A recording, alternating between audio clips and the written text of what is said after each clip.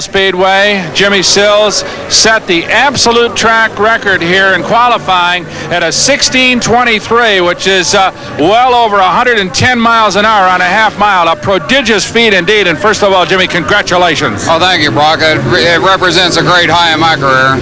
Well, to run against a whole bunch of top guys like this to come in here and, and qualify anywhere near the front, I know would be a big honor. But to set the absolute track record, the car was working terrifically. But I know you had some problems in your heat race. Have you got it corrected now? Yeah, we changed it uh, for the B main. Uh, we missed a transfer through the heat and had to run the B, and we got it worked out, and the car felt real good then. And uh, I think we're, our racetrack we have tonight will be pretty close to that, so I think we're in good shape. Good. So you'll start on the outside of the third row, a good uh, starting position, and uh, within 30 laps, I guess you just got to charge to the front as quick as you can. Well, yeah, there's some heavy hitters starting up in front of me, and uh, we're going to have to be real fast and uh, take every uh, opportunity I have to get to the front. Well, we sure wish you luck, and again, congratulations on that lap record. Thank you, Brock.